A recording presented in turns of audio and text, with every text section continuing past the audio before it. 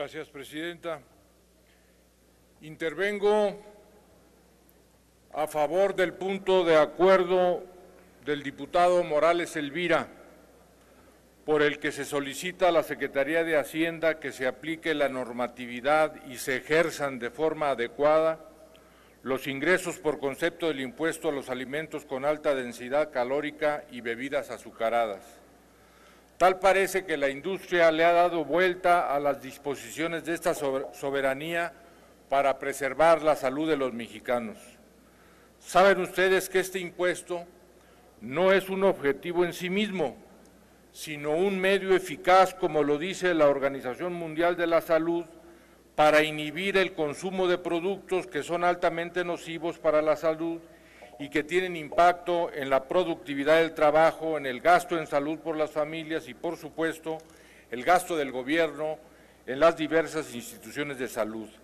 Las acciones del Estado en esta materia deben ser múltiples e integrales, porque las empresas dedicadas a estos negocios son fuertes y casi todos monopólicas.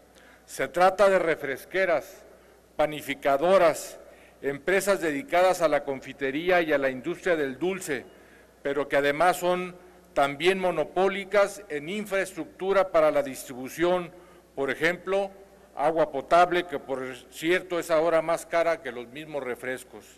Estas industrias le han dado vuelta al intento de controlar su actividad para mejorar la salud de los mexicanos por lo menos de tres maneras distintas. Primero, abaratan sus productos mediante el uso de insumos de menor calidad, Así las harinas utilizadas en la panificación y en productos chatarra es de menor calidad.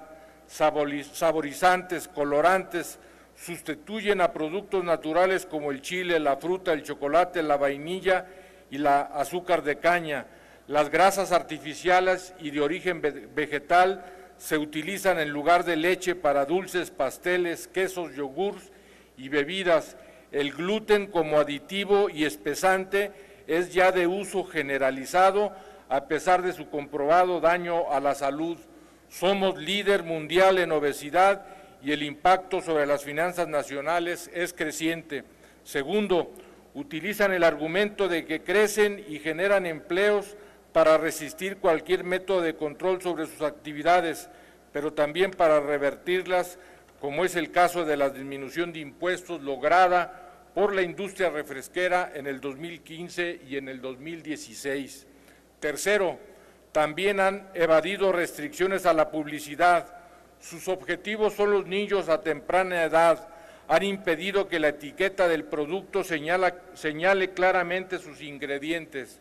Exigimos que si un producto dice contar con fruta natural, este debe, que si un producto dice contar con fruta natural, este debe ser el porcentaje indispensable que le elimine la necesidad de utilizar tiempo se ha y saborizantes. Por eso consideramos no solo aprobar este punto de acuerdo, sino solicitar a la presidencia invite a las próximas autoridades, al, al subsecretario de Ingresos de la próxima administración, a que asista a una reunión a esta Cámara de Diputados. Gracias.